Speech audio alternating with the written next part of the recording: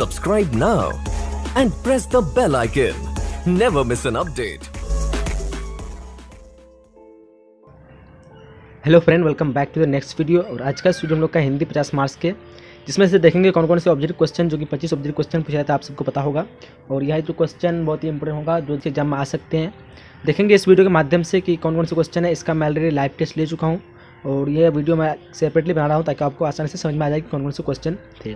तो देखते हैं पहले क्वेश्चन इससे पहले आप लोग वीडियो को लाइक कर दीजिए, जो भी लाइक नहीं किया तो और दोस्तों के साथ शेयर कर ताकि उसे भी फ़ायदा हो जाएगा। तो पहला क्वेश्चन है कि महादेवी वर्मा का जन्म किस वर्ष में हुआ था? तो चार ऑप्शन है इसमें।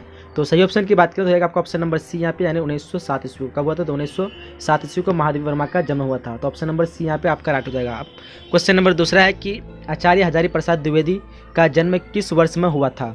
तो यहाँ भी चार ऑप्शन है, मैं आपको चुनना है कौन सा ऑप्शन सही होगा। तो सही ऑप्शन की बात करें जाएगा आपका ऑप्शन नंबर यहाँ पे ए हो जाएगा, यानी उन्नीस सौ सात। सेम क्वेश्चन मतलब सेम ऑप्शन यहाँ पे हो जाएगा, उन्नीस सौ सात उसका भी था इसका भी हो जाएगा। आचार्य हजारी प्रसाद द्विवेदी का जन्म किस वर्ष में हुआ था तो उन्नीस सौ सात ऑप्शन नंबर ए यहाँ पे बिल्कुल सही हो जाएगा। अगला क्वेश्चन है क्वेश्चन नंबर तीन की कविवर रविंद्रनाथ ठाकुर का जन्म किस वर्ष में हुआ था? चार ऑप्शन है इसमें से तो चार ऑप्शन में आपको सही ऑप्शन चुनना तो सही हो जाएगा आपका ऑप्शन नंबर ए यानी अठारह सौ इकसठ ईस्वी को। अठारह सौ इकसठ ईस्वी को कविवर रविंद्रनाथ ठाकुर का जन्म हुआ था। अब बढ़ते हैं अगले क्वेश्चन की तरफ़, और क्वेश्चन नंबर चार है कि रामधारी सिंह दिनकर का जन्म किस राज्य में हुआ था? चार राज्य दिया हुआ इसमें से, कौन सा राज्य में हुआ था? तो सही ऑप्शन हो जाएगा आपका ऑप्शन नंबर यहाँ पे बी यानी बिहार। किसमें होता तो बिहार में हुआ था रामधारी सिंह दिनकर का जन्म। अब अगला क्वेश्चन है क्वेश्चन नंबर पाँच, और क्वेश्चन की सुमित्रा नंद पंथ का जन्म किस राज्य में हुआ था? तो इसका जन्म हो जाएगा आपका ऑप्शन नंबर यहाँ पे सी हो जाएगा, यानी उत्तरांचल में हुआ था। किस राज्य में हुआ था? तो उत्तरांचल। ऑप्शन नंबर सी आपका यहाँ पे सही हो जाएगा। उसके बाद क्वेश्चन नंबर छः है और क्वेश्चन है कि इनमें से कौन सी रचना प्रेमचंद्र की है? कौन सी रचना हो जाएगा? तो ये किताब से बाहर आपका, आपको शायद पता नहीं होगा। तो इसका सही ऑप्शन की बात करें तो जाएगा ऑप्शन नंबर बी, यानी पूस की रात। पूस की रात जो है प्रेमचंद्र की है। तो ऑप्शन ये आपका सी, बी बी राइट हो जाएगा। अब क्वेश्चन नंबर सात है कि रहीम, हिंदी साहित्य में किस काल के कवि है? तो ये हो जाएगा इसका सही आंसर ऑप्शन नंबर सी यहाँ पे, यानी भक्ति काल के। किस काल के? तो भक्ति काल के कवि तो ऑप्शन नंबर सी आपका राइट हो जाएगा। अब क्वेश्चन नंबर आठ है, और क्वेश्चन है कि हिंदी साहित्य में कथा सम्राट इनमें से किसे कहा गया है? तो आसान से क्वेश्चन है, पता होगा आप सबको तो ऑप्शन नंबर यहाँ पे आपका सी सही हो जाएगा, यानी प्रेमचंद्र। प्रेमचंद्र को कथा सम्राट कहा जाता है।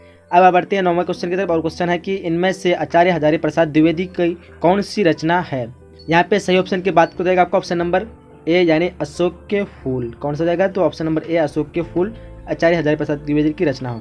अब बढ़ते हैं क्वेश्चन नंबर दस की तरफ़ और क्वेश्चन है, इनमें से प्राकृतिक सुकुमार कवि किस कवि को कहा जाता है? प्राकृतिक का सुकुमार जो कवि कहता है, किस कवि को कहते हैं? तो पता होगा पढ़े होंगे तो ऑप्शन नंबर आपका यहाँ पे सी राइट होगा, यानी सुमित्रानंद पंत को कहा जाता है। किसको कहता है? तो सुमित्रानंद पंत, यहाँ पे सही हो जाएगा।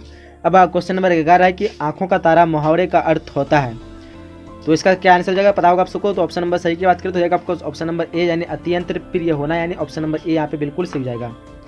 अब क्वेश्चन नंबर बारह है क्वेश्चन है कि दांत काटी रोटी होना, मुहावरे का अर्थ है, क्या हो जाएगा? तो इसका सही आंसर हो जाएगा आपका ऑप्शन नंबर यहाँ पे बी राइट हो जाएगा, यानी बहुत मित्रता होना, यहाँ पे बिल्कुल इसका सही हो जाएगा। अब क्वेश्चन है तेरह कि पवित्र शब्द का संधि विच्छेद करें, इसको आपको संधि विच्छेद करना है। तो इसको संधि विच्छेद करेंगे तो ऑप्शन नंबर आपका सी राइट हो जाएगा यहाँ पे। पौज और इतरे, ये जो क्वेश्चन का सी मतलब इस क्वेश्चन का सी ऑप्शन यहाँ पे सही हो जाएगा। क्वेश्चन नंबर चौदह है कि धर्मात्मा शब्द का संधि विच्छेद करें। तो धर्मात्मा का संधि विच्छेद करेंगे तो आप लोग का पता होगा आपको तो ये ऑप्शन नंबर यहाँ पे आपको ए हो जाएगा, यानी धर्मजोर आत्मा, धर्मात्मा का संधि विच्छेद करने पर ये हो जाएगा ऑप्शन नंबर ए यहाँ पे सही हो जाएगा। अब क्वेश्चन है पंद्रह की राजा शब्द का विलोम शब्द है। तो इसका जो सही जो ऑप्शन की बात करें तो आपका ऑप्शन नंबर ए यानी राजा का प्रजा। कुछ लोग राजा का रानी बताए तो नहीं ऑप्शन नंबर आपका ए राइट होगा राजा राजा का प्रजा अब क्वेश्चन नंबर सोलह है कि अमृत अमृत शब्द का विलोम है। अमृत का उल्टा क्या हो जाएगा? तो ऑप्शन नंबर आपका यहाँ पे बी राइट हो जाएगा, यानी विष, अमृत का विष। उसके बाद क्वेश्चन नंबर सत्रह है कि आँख शब्द का पर्यावाची शब्द है। तो आँख का पर्यावाची हो जाएगा आपका ऑप्शन नंबर यहाँ पे ए हो जाएगा, यानी नेत्र। नेत्र को कहते हैं आँख। तो ऑप्शन नंबर ए यहाँ पे सही हो जाएगा। क्वेश्चन नंबर अठारह है कि पृथ्वी शब्द का पर्यावाची शब्द है। तो यहाँ पे सही ऑप्शन की बात करें आपका ऑप्शन नंबर डी यानी वसुंधरा वसुंधरा जो है पृथ्वी शब्द का पर्यावाची होता है तो ऑप्शन नंबर डी यहाँ पे सही हो जाएगा।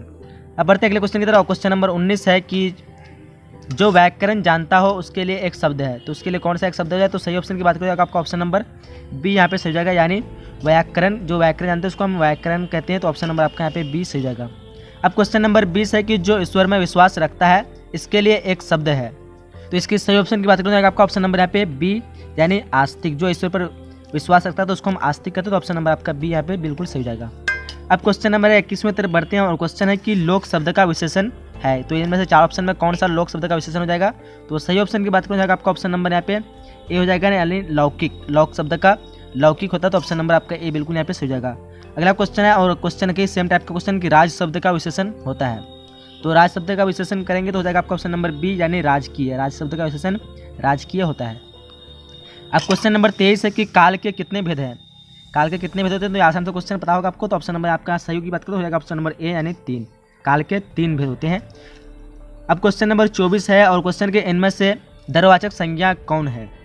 तो दरवाज़ा संज्ञा इसमें कौन सा हो जाएगा? तो सही ऑप्शन की बात करें, आपको ऑप्शन नंबर ए यानी सोना, चांदी, कुछ लोग गंगा, यमुना बताते तो नदी है तो शायद नदी से सोच के आप लोग दरवाजे संज्ञा देते तो यहाँ पे दरवा नहीं है, गंगा किसी चीज़ का नाम है तो यहाँ पे प्रॉपर नाउन है, यानी खास किसी भी चीज़ का नाम है, गंगा, यमुना तो ये गंगा, यमुना नहीं होगा यहाँ पे तो आपका बी यहाँ पे नहीं होगा तो ऑप्शन नंबर आपका ए यानी सोना, चांदी हो जाएगा।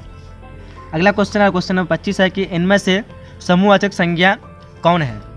तो इनमें से कौन सा हो जाएगा? तो सही ऑप्शन की बात करें आपका ऑप्शन नंबर यहाँ पे सी यानी सभा सभा को हम कहते हैं समूहवाचक संख्या किसी चीज़ के तो ऑप्शन नंबर आपके यहाँ पे सी सही हो जाएगा, यानी सभा। तो यहीं तक वीडियो था, वीडियो अगर अभी लाइक नहीं किया तो वीडियो को लाइक कर दीजिए और दोस्तों के साथ शेयर करें ताकि उससे भी फ़ायदा हो जाएगा और चैनल को सब्सक्राइब नहीं सब्सक्राइब कर ले, क्योंकि ऐसी वीडियो आपको रोज़ाना मिलते रहेगा इस चैनल में। इसलिए जो कि आपके बिहार बोर्ड या किसी एग्ज़ाम के लिए बहुत ही फ़ायदेमंद होगा तो इसलिए सब्सक्राइब कर लीजिए। चलते मिलते हैं अगले वीडियो में, तब तक जय हिंद, जय Bharat and thanks for watching